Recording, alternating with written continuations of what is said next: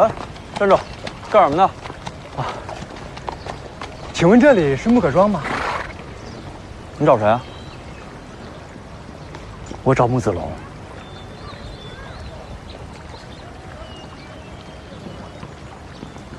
二叔，发饷的事就别再跟我争了。这件事是因为我家而起的，我家给穆家子弟发饷，那是应该的。看你这话说的，这些年咱们村不全靠子红保护着？现在子红出事了，咱不就甩救啊？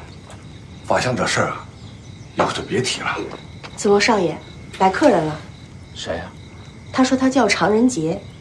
常先生，让他进来。哎，大叔，我这边还有事儿，你们就先回去啊。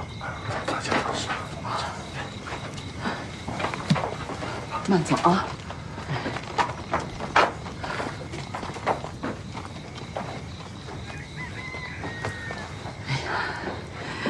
常先生里边请。哎呦，常先生来了。大娘，子红军长出事，可能因我而起，子龙也因我受伤，任杰心里……哎呦，这就不说了。子红他护着你，自有护着你的道理。来来来，赶快坐。哎，子龙，你们谈吧。啊，伤势没问题吧？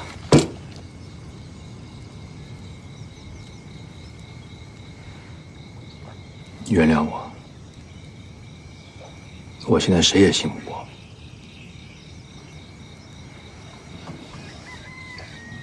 我有几个问题要问你。你说，我哥走了以后，你在哪儿？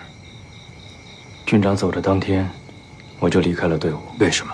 当时危险已经很明显了。事实上，马千驹送走军长，回头就去抓我。这么说，你早就知道我哥去南京是有危险的，是吗？是。为什么不阻止他？军长走之前，我劝他了，但军长执意要去。为什么？军长担心，如果他不去，会加重南京对他的怀疑。再者，军长不相信，南京仅凭猜疑就对他动手。我凭什么相信你？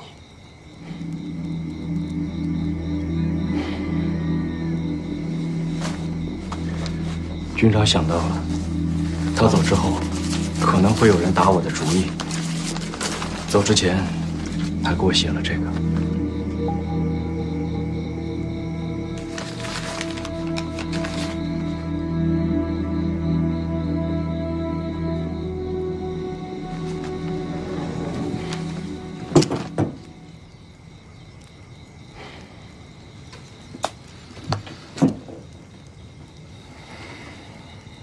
对不起，我去云台找过你没找着。